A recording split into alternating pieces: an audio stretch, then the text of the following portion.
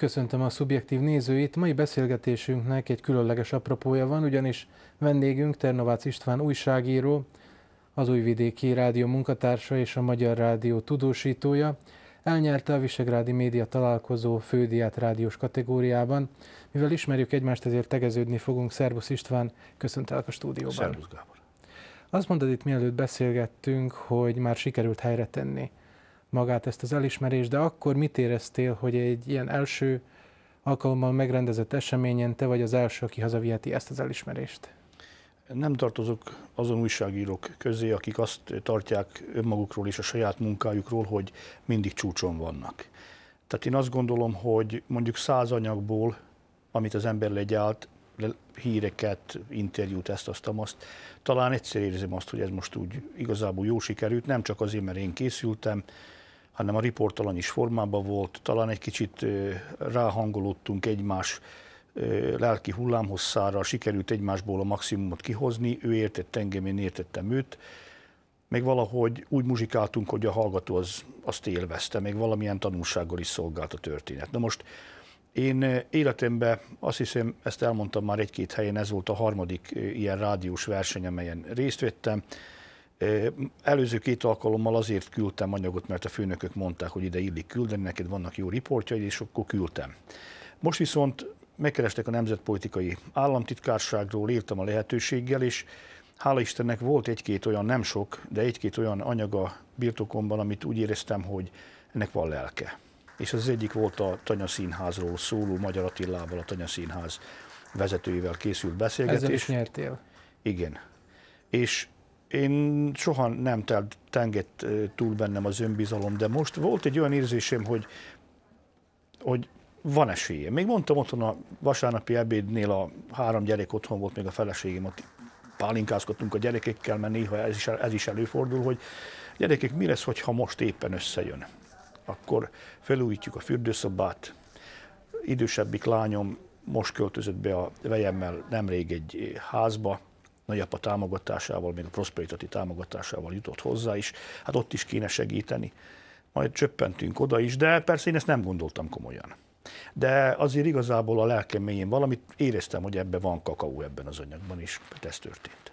Azt mondod, hogy van kakaó ebben az anyagban, ahogy fogalmaztál, mégis mennyit kellett felkészülnöd, hogy ez úgy sikerüljön, ahogy te szeretnéd, mert vannak kollégák, akik azt mondják, hogy amikor készítenek egy-egy beszélgetést, abban benne van az elmúlt évtizedek munkája, de mégis Magyar Attila tud hálás interjú alany is lenni, de olykor hálátlan is, ha éppen nem beszél. Annyit neked, hogy volt ez? Én 57 éves vagyok, 32 éve vagyok az újságírói pályán.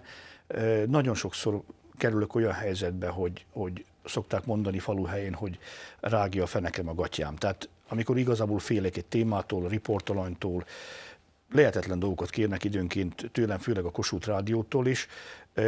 Most már több évtized távlatából van egy olyan fajta önbizalma az embernek, hogy tudom, hogy nem tudom megcsinálni, de már annyiszor megcsináltam a lehetetlen dolgokat is, és valahogy most is úgy voltam ezzel a témával, azzal, hogy ez nem annyira a színházról szólt, hanem a küldetésről, a vállalásról, a nemzettudatról, a válvetve küzdelem, folytatott küzdelemről, amit a tanyaszínházasok most már több százan visszatekerve a filmet 40 évre vállaltak ebben a mozgalomban, és igazából rákészültem, és a helyzet valahogy úgy alakult, hogy őszinte legyek, Attilával nagyon gyorsan összebarátkoztunk, de, de nem gondoltam, amikor elkezdtük a beszélgetést, hogy ez, ez igazából milyen kincs lehet. Aztán amikor belebonyolódtunk, főleg amikor visszahallgattam, akkor éreztem, hogy jó kis utómunkával ebből lehet csodát művelni. Na most azt tudni kell, hogy ez egy hosszú interjú volt, ez egy órás portréműsorba készült, és igazából ennek az eszenciáját vettem én csak ki, mert erre a riport pályázatra egy 8 perces anyag kellett. Tehát erre szokták azt mondani, hogy ez bufogott, csattogott, villámlott.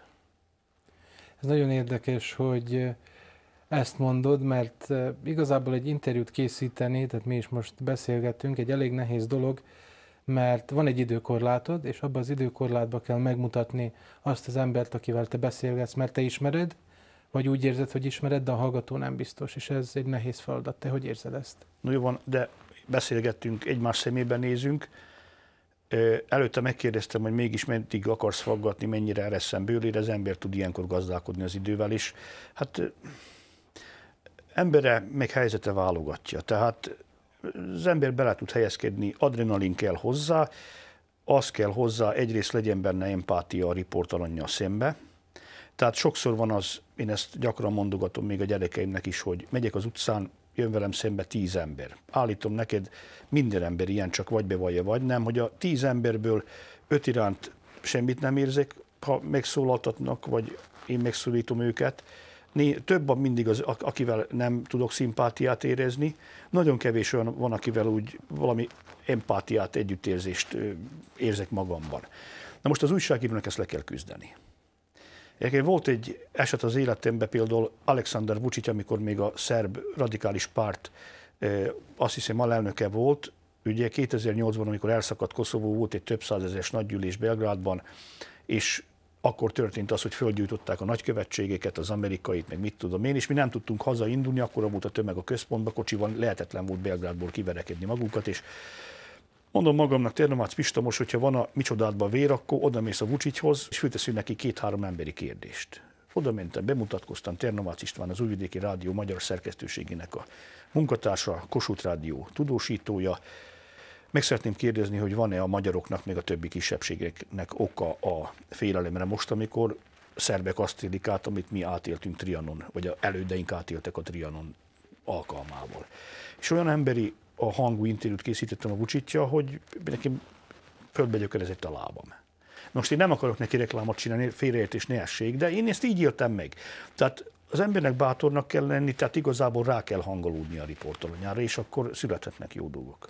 És sikerült-e, mert ezek szerint sikerült leküzdened, vagy sikerül leküzdened azt, amit ugye írnak a szociológia könyvek, hogy egy újságírónak fel kell húzni az mellényt, és minden szituációval meg kell küzdenie, de volt -e olyan eset, amikor egyszerűen ezt nem tudtad megtenni, és te is elérzékenyültél, hogy olyan helyzetbe kerültél, hogy megérintett? Hát sokszor.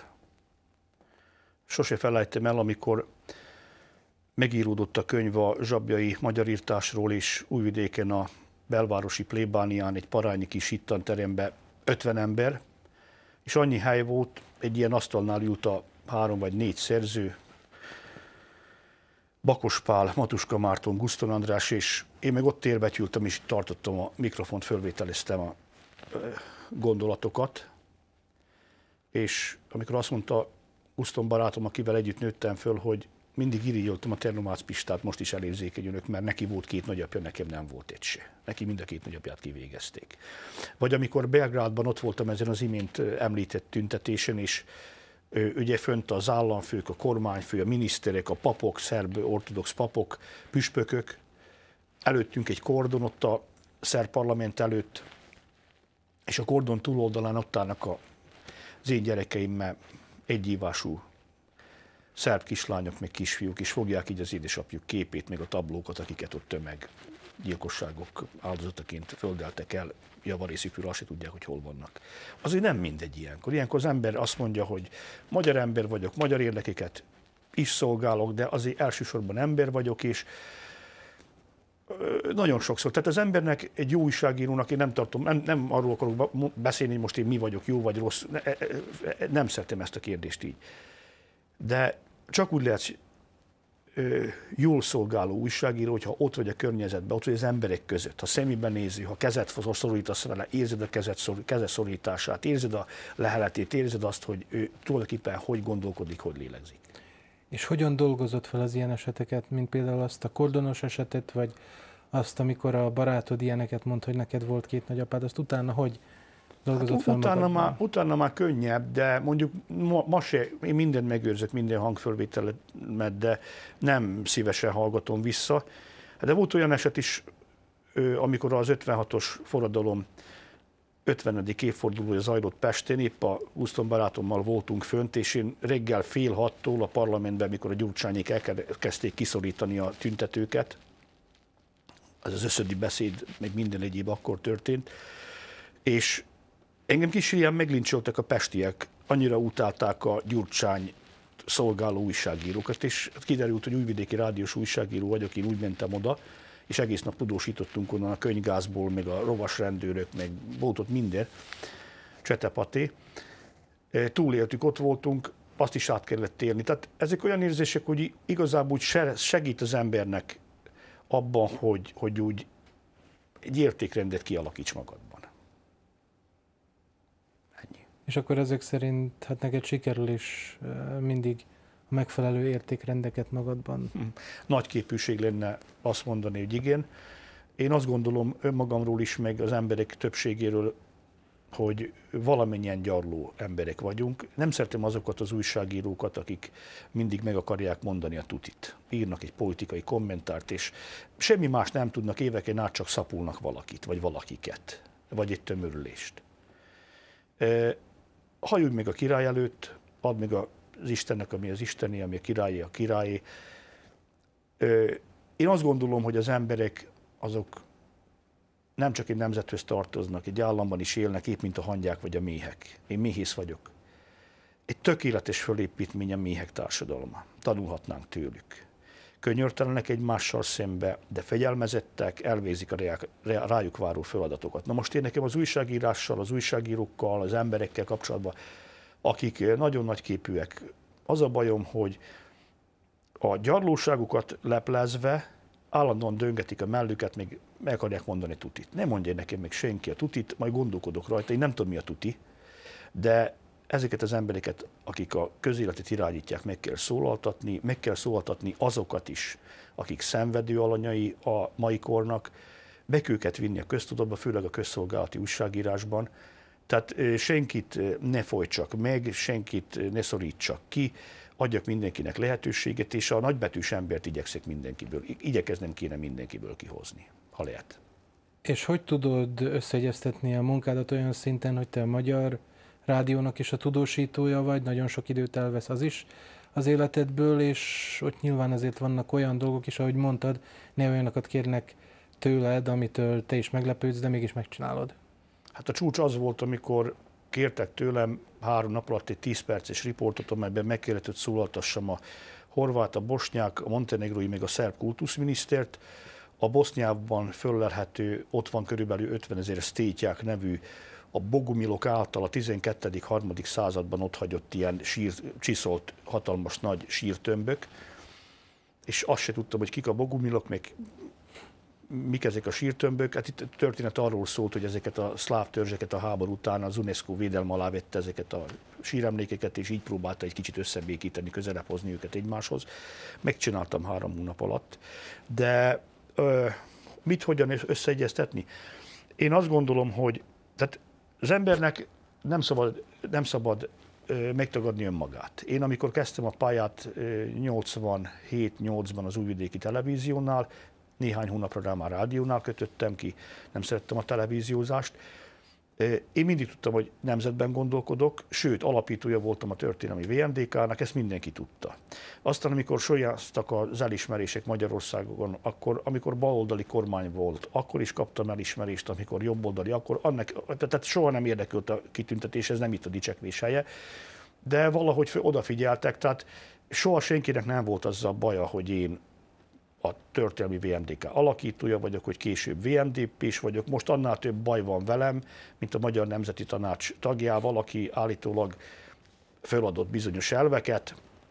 Én ezt nem így gondolom, én azt gondolom, hogy az újságíró is emberből van, vannak neki céljai, az én célom az, hogy lehetőleg olyan utókort hagyjunk a gyerekeinkre, amely élhető lesz. És ebben a pillanatban ezt ki kell mondani, hogy Orbán Viktor nemzetpolitikája itt a Kárpát-medencében. Ezt a célt szolgálja, ennek az itteni letéteményese a Pásztor István vezette VMS, és ennyi.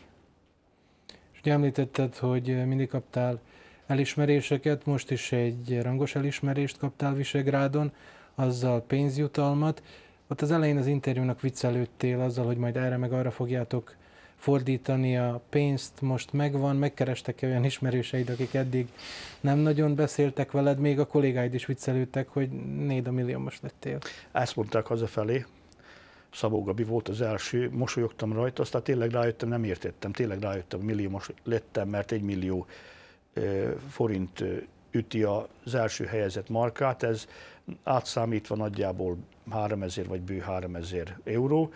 Ennyi pénz otthon nem emlékszem rá, hát egyszer volt sok pénzem, 11.800, vagy pénzünk a feleségemmel 11.800 márka háború előtt, még a Márkovics érában, amit összeszedtünk, soha azóta. Azt tudni kell, hogy az öttagú családot én gondolom, én voltam az egyetlen kenyérkereső az öttagú családra, és nálunk tényleg hát a három gyerek kiiskoláztatása ráment a pénz, ebből a pénzből most az 50 éves fürdőszoba volt már csőrepedésünk föl lesz újítva, meg a nagyobbik lányom, aki már férnél van, ő kap egy kis segítséget, ha majd megkapom. István, további sikereket kívánok, és további sikeres munkát. Nagyon szépen köszönöm. Igyekszik. Önöknek, kedves nézőink, pedig megköszönöm a figyelmet. Ternovácz István újságíróval, az Újvidéki Rádió munkatársával, a Magyar Rádió tudósítójával beszélgettünk. További jó televíziózást kívánok!